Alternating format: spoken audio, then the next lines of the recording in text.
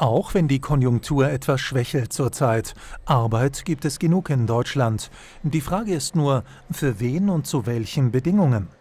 Ich habe einen Job, der ist im sozialen Bereich, da ist auch mal Schichtdienst angesagt und dann bin ich noch freiberuflich tätig im Medienbereich.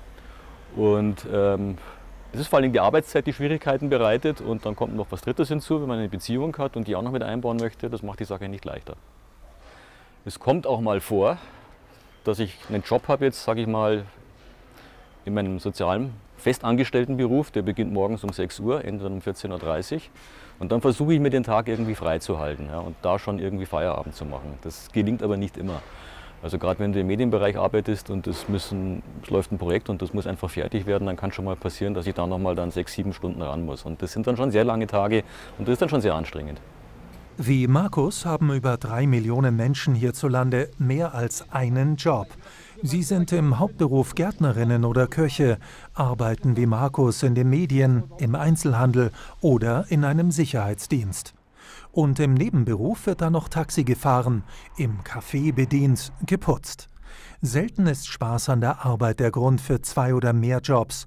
Ein Portfoliomotiv nennen das die Arbeitsforscher dann, wenn etwa der Uniprofessor noch als Berater in der Wirtschaft arbeitet oder der Fabrikarbeiter abends Konzerte mit seiner Rockband gibt. Meistens sind es aber finanzielle Gründe, wenn Menschen nach Feierabend oder zwischendrin einen zweiten Job ausüben.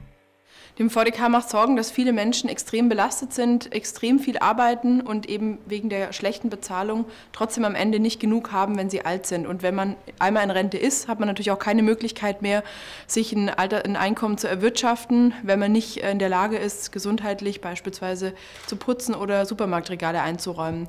Und deswegen sagen wir, nur durch gerechte Löhne und einen guten Arbeitsmarkt kann auch später eine gute Rente erwirtschaftet werden und nur durch das Versprechen, dass die gesetzliche Altersvorsorge das Fundament ist im Alter, werden wir auch ein Vertrauen in den Sozialstaat stärken. Das Geld aus einem Beruf reicht oft nicht fürs Leben. Deshalb kombiniert etwa Markus einen Teilzeitjob mit seiner freiberuflichen Arbeit. Andere bessern ihr Gehalt aus einer schlecht bezahlten Vollzeittätigkeit durch einen Minijob auf. So kommt Mann oder Frau gerade so über die Runden. Heute, vielleicht auch morgen noch. Für die Rentenansprüche sieht es aber düster aus.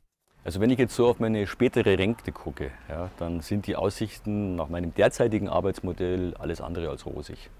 Zum einen habe ich diese halbe Stelle im sozialen Bereich, da wird ja ohnehin nicht so viel bezahlt an Lohn, die Gehälter sind da nicht so hoch. Und äh, das reicht auf gar keinen Fall, so viel zurückzulegen oder so viel in die Rentenversicherung einzuzahlen, in die gesetzliche, dass da später so viel dabei herausspringt, dass ich davon leben kann. Ich habe dann noch meine zweite Standbein als Selbstständiger. Aber auch da reicht es eben nicht aus, so viel wirklich auf die Seite zu legen, dass man sagt, okay, man kann da privat noch einiges ansparen. Also wie ich das dann machen werde, wenn ich mal wirklich so weit bin, wenn ich alt bin, ich weiß es nicht. Anfang des Jahrtausends wurden für Minijobs Anreize geschaffen. Steuern und Sozialversicherungsbeiträge fallen für den Arbeitnehmer meist nicht an.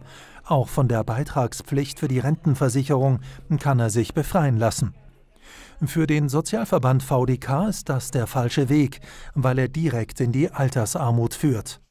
Gefördert werden müssen nach Ansicht des Verbandes stattdessen sozialversicherungspflichtige Jobs. Und wer sein Leben lang arbeitet und trotzdem wenig verdient, muss später wenigstens eine Grundrente erhalten, die über Steuermittel finanziert wird. Denn Altersarmut nach einem Leben voller Arbeit darf es einfach nicht geben. Wichtig ist natürlich vor allem, dass wir einen guten Arbeitsmarkt haben. Sprich, es müssen gute Löhne gezahlt werden. Wir brauchen ähm, eben einen sicheren Arbeitsmarkt, der vor allem auch mit sicheren und guten Bildungschancen zusammenhängt. Und genau die Chancengleichheit ist eine wichtige Forderung für uns. Chancengleichheit bedeutet, dass eben alle Menschen in Deutschland die Möglichkeit haben, eben auch zu arbeiten, sich einzubringen, aber damit auch ein Versprechen verbunden ist auf eben eine sichere Rente und Teilhabe im Alter. Wichtig ist mir natürlich auch, dass Menschen, die erwerbsgemindert sind, eben äh, nicht wegen ihrer Erwerbsminderungsrente in Armut leben, sondern dass die Abschläge von 10,8 Prozent wegfallen. Und entscheidend ist natürlich auch, dass man sich über die Finanzierung von einem Rentenversicherungssystem Gedanken macht, sprich inwieweit ist auch eine verfassungskonforme Vermögenssteuer oder auch eine Erbschaftssteuer äh, einzuführen in Deutschland, um die Rente zu finanzieren.